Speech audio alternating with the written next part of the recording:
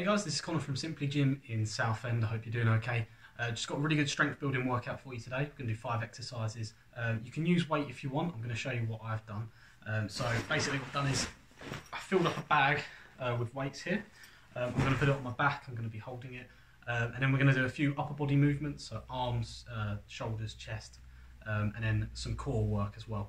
Um, so focusing on the upper body. Uh, five exercises. We're going to do 12 reps for each of those. and just going to do all of these back to back. Right guys, so first one, you get that bag on. All we want to do for this one is going to do floor press ups. So all the way from the bottom, from here, you can drive up to the top with or without weight on your back. And keep that going. If you want to go halfway or just before touching the floor, you can do that as well. Um, but as long as you're doing the full range of motion, um, just locking that out there.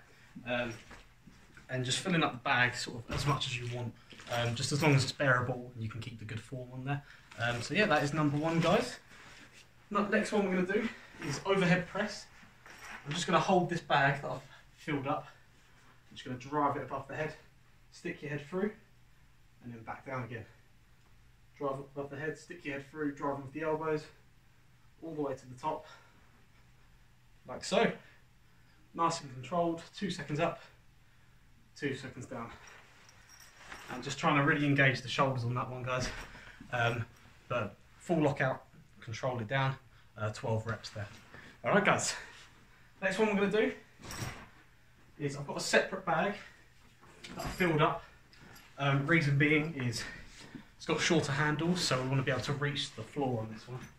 What I mean by that is we're doing bag rows, engaging the lats here, Sort of do a half lunge forward, lean forward down, chest out, and you're going to drive up, squeeze your back right here, and then back down again. And do 12 reps on this side. Get a nice pause at the top, and then you're going to switch sides there, drive up, and squeeze there. All right, guys. Um, again, just going for the back here, and a bit of the biceps as well. Uh, just pausing at the top. Um, just getting that squeeze and then controlling it down for 12 reps per arm. All right, guys.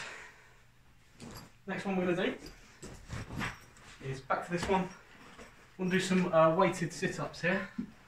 So what I want to do is you're going to keep the bag on your chest here and you're just going to do a crunch or a sit-up or what I like to do, hold the bag up and then above the head like so. Just trying to build some core strength. Keeping that going for the 12 reps there. And obviously, guys, just trying to get to the top, keep it above the head. As you're going down, just squeeze the core, control it, uh, just breathe nice and steady, but keeping this nice and tense. Okay, guys, last one we're going to do. So, sitting down like so, to a bit of an angle, holding the bag here. You might want to put your legs far apart. To do some Russian twists. You can either do it this way or you can keep your legs off the floor there. I'm going to do it sitting here, lean back, squeeze your core, and then twist like so. Just squeezing the core as you come up and as you go down. This is a two part movement. Again, so 12, so that's one and then two, okay? Cool guys. So obviously it's up to you how much weight you put on. Um, if you're trying to build strength, I'd recommend trying to add as much as possible uh, while keeping good form.